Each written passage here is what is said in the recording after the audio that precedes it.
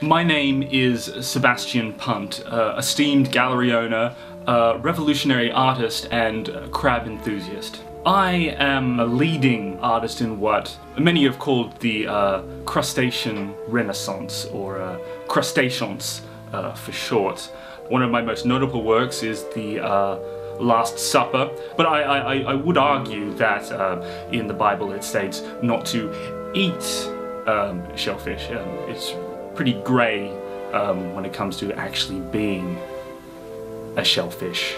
Michelangelo's David, as we are all aware, his uh, little David uh, was covered in a leaf. I find this was a bit unnecessary. Uh, there really wasn't much to cover. I feel if you were to say to place a, a crab there, your reaction wouldn't be uh, be more that that is a really impressive dominant claw.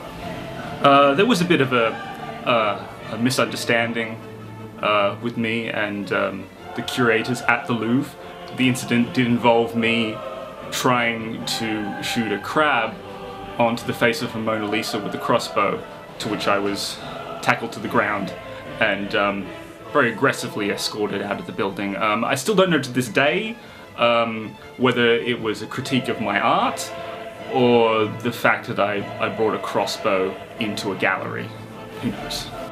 Modest but uh, uh, slowly growing online uh, community in which we, we share uh, our own uh, uh, crab art. On occasion, to ban um, some people. one person once posted an image of Salvador Dali's lobster phone, um, which which is an atrocity. But I'll just say this, you have the king crab, the golden king crab, the blue king crab, the red king crab. You won't find uh, any kings among lobsters. Closest you'll get is royal blue, and that's not a king, that's a colour scheme.